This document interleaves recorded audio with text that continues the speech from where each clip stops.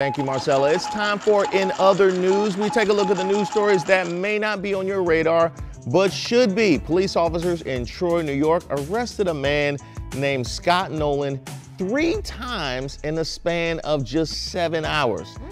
That's got to be some kind of record. Speaking of records, Nolan's police record is currently 50 pages long and growing.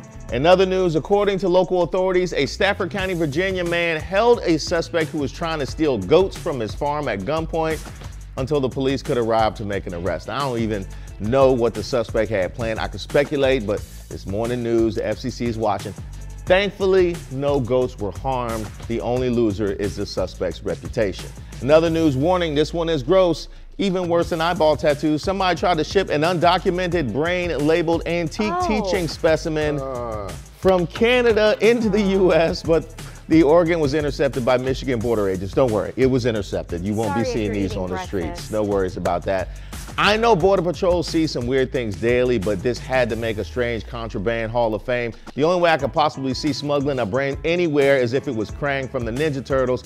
And finally, Larry Tesler, the computing genius behind cut, copy, and paste, has died at the Oh, age what? of 74. Yes, I know. We all owe this man a debt of gratitude for productivity alone. Wow. He has saved me so in much peace, time. sir. Absolutely, he is the uh, I'm, he is the cheating like leader. If you want to take somebody else's quote, bam, there it is. Thank you, Larry Tesler. I'm not sure that's how he Uh, yeah, I wants to be don't, I'm remembered. not sure I'm with you on that. Well, but I did use, I mean, still, we use copy paste all the time. Yeah, I mean, how could we plagiarize without Larry Tesler? Every meme posted would have to be typed out word for word if not for you, man. He deserves Thank a you, monument. Mr. Tesler. Yes, for save typos alone. Next time you send the same I'm in bed response to three WID texts, remember Larry Tesler before you brush off the people you don't want around. Let me know what you think of these stories using the hashtag GetUpDC. I can honestly say I wouldn't be here today if it wasn't for him. Now let's go to Matt for what else is coming up.